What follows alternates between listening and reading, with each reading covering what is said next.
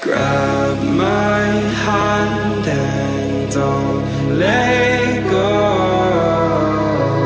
I'm afraid, but you need to know it will be okay. I promise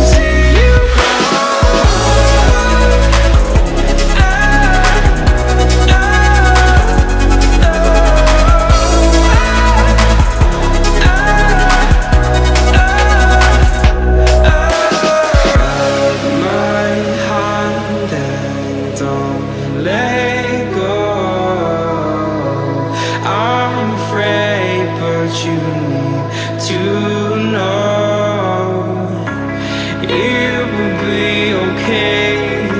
I promise.